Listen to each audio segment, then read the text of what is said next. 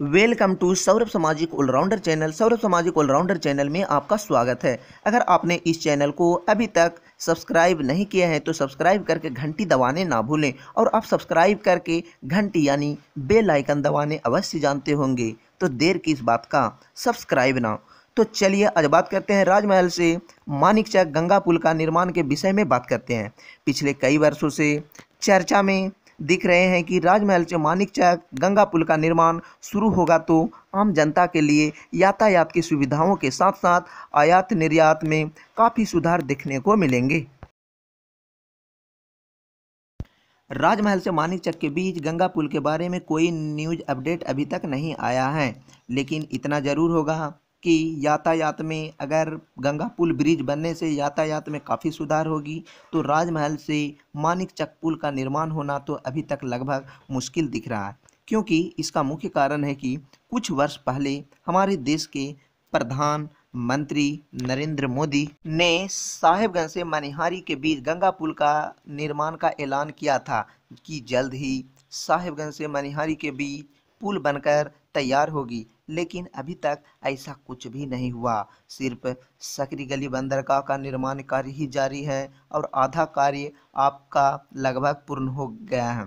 अगर आप साहिबगंज सकरी गली बंदरगाह देखना चाहते हैं कि किस प्रकार कार्य आधा से अधिक हो चुका है तो नीचे डिस्क्रिप्शन में लिंक दिया गया है, आप देख सकते हैं। तो चलिए आज बात करते हैं राजमहल से मानिक चक के बीच में बात कर रहे हैं, ठीक है? तो राजमहल से मानिक चक के बीच अगर पुल बन गया तो सारा दिक्कतों का सामना करना बंद हो जाएगा। और राजमहल से मनिहारी के बीच गंगा पुल का निर्माण होने से रोज़गार का अवसर बढ़ेगा। अब देखना, ये दिलचस्प होगा कि सकरी गली बंदरगाह क्या बंगाल यानी राजमहल मानिक चक पुल से जुड़ता है या नहीं? लेकिन मानिक चक तक जुड़ने की काफ़ी उम्मीदें जगी हैं। ये एक हम आपको अपडेट न्यूज़ अपडेट के माध्यम से मैं आप लोगों को बताना चाहता हूँ। लेकिन राजमहल से मानिक चक के पुल बन जाने से यात्रियों को और यातायात में तो काफ़ी सुधार देखने को मिलेंगे।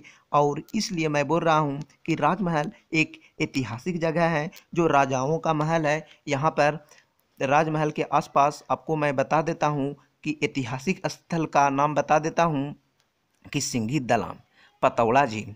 जामा मस्जिद, कन्हैया स्थान, मोती झरना, जिसे राजाओं के महल के नाम से जाना जाता है राजमहल को। इसलिए आप राजमहल को एक बार ज़रूर आएँ। इतना ज़रूर है, पहले के व्यक्ति और अभी के व्यक्ति में काफ़ी सुधार देखने को मिल रहे हैं। इसी प्रकार, पहले जिस प्रकार नाव से यात्रीगण यात्रा करते थे, अब आपको पुल के माध्यम से, यानी कि बंदरगाह के माध्यम से इस पुल के द्वारा सफ़र करना पड़ सकता है।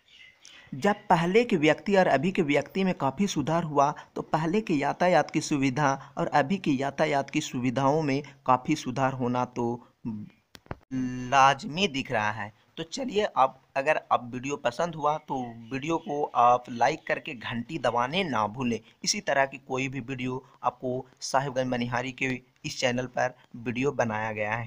अगर आप चैनल को अभी तक सब्सक्राइब करने भूल गए हैं तो ये बिल्कुल गलत बात है, क्योंकि इस तरह के वीडियो आपने कभी भी नहीं देखा होगा और लाइक करने, सब्सक्राइब करने